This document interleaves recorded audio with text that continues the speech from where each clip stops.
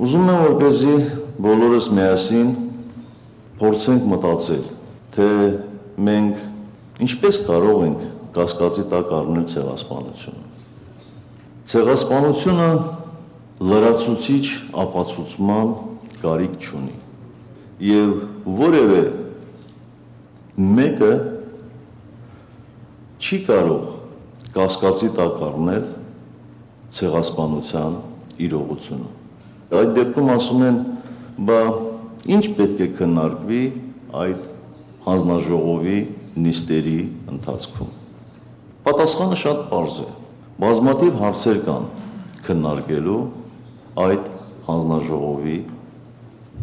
նիստերի ընթացքում, սկսած մեր պատմական հուշարձանների վիճակից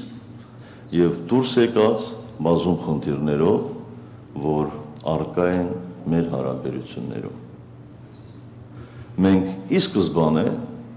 խոսել ենք, պայմանավորվել ենք հարաբերություններ հաստատել առանց նախապայմանների։